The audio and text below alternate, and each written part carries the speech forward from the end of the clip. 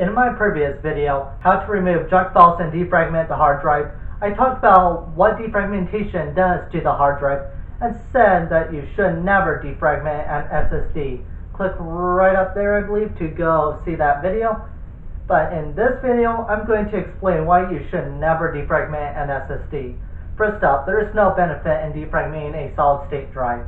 With a hard disk drive, having all those files close together makes things run a bit smoother because the mechanical arm doesn't have to switch back and forth to different positions as much. With the SSD, there is nothing moving. Everything is stored on microchips. Everything is accessed through flash memory. So the benefit of defragmenting an SSD would be very minimal since there isn't anything moving.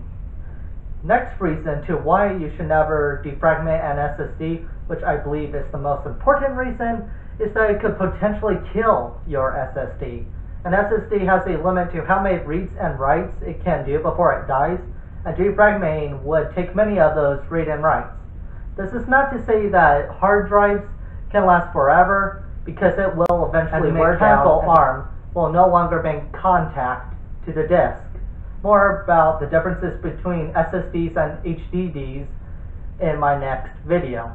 So basically, you do not want to defragment an SSD because there is next to no increase in speed and could potentially kill your SSD or at least take out many of its read and writes. Now if you liked my video, go ahead and hit that like button. If you did not like my video so much because I said SSD too many times or whatever the reason may be, go ahead and hit that other button.